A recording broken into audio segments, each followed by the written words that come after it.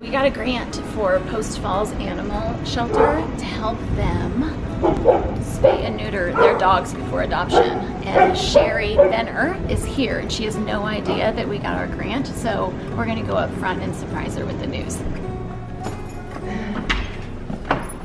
Hi Sherri. Yeah, How are you? Good, how are you? Good. Oh, um, wanna come back? Yeah. Thanks. I uh, wanted to take advantage of you being at the shelter. I know that you're bringing dogs as your transfer partners.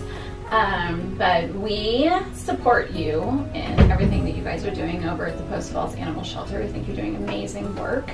And we wrote a grant for $5,000 to help spay and neuter your dogs before adoption. I'm really excited to tell you that we got the grant. So in this next year, we'll have $5,000 to help you guys with spaying and neutering all of your dogs before you adopt them out. Oh my god. Thank you so much.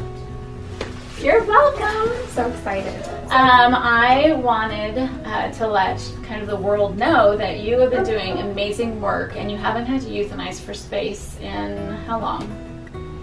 I've been there almost six years, so we haven't had to euthanize for space. Yes, so it's amazing work. They're doing amazing work, and a lot of people in the Post Falls area and Kootenai County don't realize the amount of effort and time being placed in the care of these wonderful animals because of you and the team there. So thank you. Thank you very much. Yeah. So excited.